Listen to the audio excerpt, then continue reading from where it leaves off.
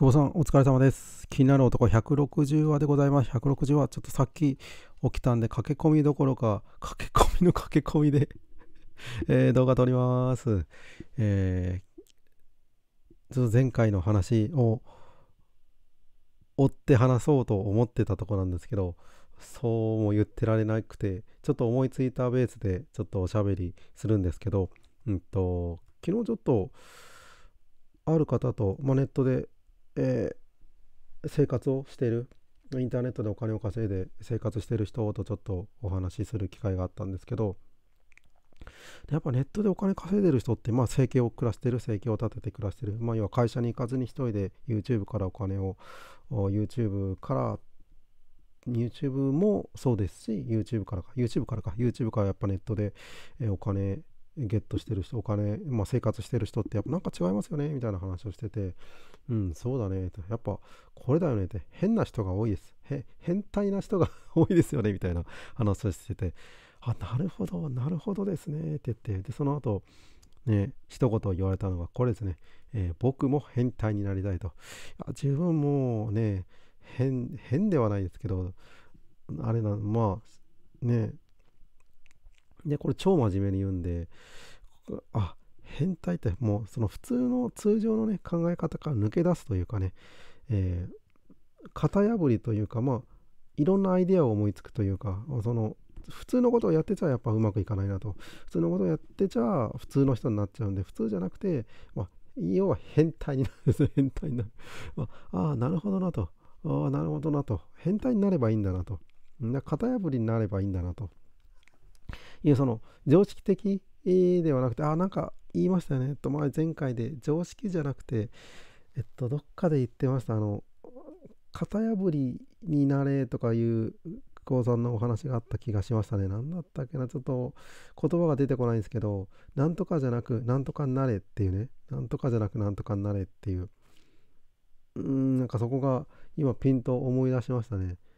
そうそう。あの常識常識人間になるんじゃなくてそなんか常識じゃないこう人間になりましょうみたいなねお話があったと思うんですけどまさにここかなと思ってて今日も朝起きた瞬間にああもう全部全部やってない 全部やってない、まあ、よくね会社学生時代とかもよくあって自分よくこうグーグー寝ちゃう人でやばいっつってなんかもう何もできてない。何もできない。ないっすやばいです。っつってもとりあえず学校に行って大体怒られる。みたいな感じで。で何やってたんだ？っつってねえ何やってたんだ？っつっていや何もやってませんっつって。言い訳もあまりしきらなかったんで何もやってませんっつってね。ガンガンなんか言われてた気がするんですけど。まあそんな感じでもなんとかこう生きてきたんであれなんですけどね。本当にその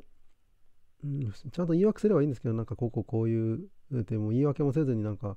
できませんでしたみたいにね、真面目に言っちゃうんで、これがまた、ね、先生の怒りを買うというか、言い訳してね、言い訳したところにこう、突っ込みがいがあるはずなのに、突っ込まずにね、何もしませんでしたっつってね、してませんでしたみたいなことね、はっきり言うんでね、逆になんかもう、なんだよ、なんだよみたいな顔になって余計なんか機嫌を悪くしちゃうっていうね、いう感じのことなんですけど、ともかくなんかこう、なんていうんですかね、こう、変態になる、まあ、変態になるって表現があれなんですけど、真面目に変態になるっていうことをやっぱやっていくしかないのかなとは思っていてうん。そういう時こそなんかこう新たなアイデアが生まれるっていうかもう今回に関してはスライドも作る予定なくてその単純にもう画像だけにしようかなと思ったんですけど一言これちょっと思いついたんで思いついたらババってきちゃったんでなのでまあ YouTube を止めるのは危険ということでもうやっぱり止めた瞬間になんか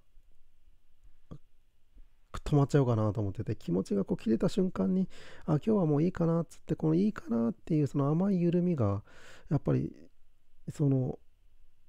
心の緩みにつながってそしてそれがね徐々に徐々にまあいいかまあいいかまあいいかっていうのがあるのかなと思っててそうならぬためにもなんとかギリギリのところで踏ん張る。踏ん張れなくても踏ん張ることができなくても踏ん張るっていうね。意識が意識をつなぎ止めることができなくても目が覚めた瞬間にやるっていうね、まあ、今日も朝ライブなんとか間に合ってああよかったな。で本当もよかったっていうところがあって。なんであ朝ライブができたならじゃあ相川さんのリレー動画も撮れるなって今さっきバッて撮って。でリレー動画も撮れるのはじゃあこれ気になる男も別に、えー飛ばさなくてもね、これを今日の分、昨日の分として取っとけばいいんじゃないと思って今わって取ってて、あ、これ送れるって言って今ね、もう取れるって今思ったんで、取ってる段階で、これすぐ送れそうなんで、送れます。はい、ということでね、えー今回160ですね、気になる男は変態になる、え変態になるためにっていう、なんかちょっとよくわかんない感じになってるんですけど、ただなんかこれ、多分やってる人は通じるんじゃないかなと思っていて、その、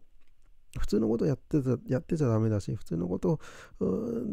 だったら普通にママになるんで、なんとかね、こう普通じゃないところに行こうとするんなら、少しね、まあ、これはちょっと表現がどぎついかもしれないですけど、まあ、変態になるっていうね、変な感じでも、変なところを突き詰めるというところ、やっぱこれが生き残る道なんじゃないかなと、平凡な人が生き残る道なんじゃないかなと思ったりもいたします。はい、ということで、YouTube を止めるのは危険ということで、止めないために今撮らせていただきました。はい、ということで、ありがとうございました。止めない、やめない、頑張るということでね、気持ちをもう一回つなげたということで、160は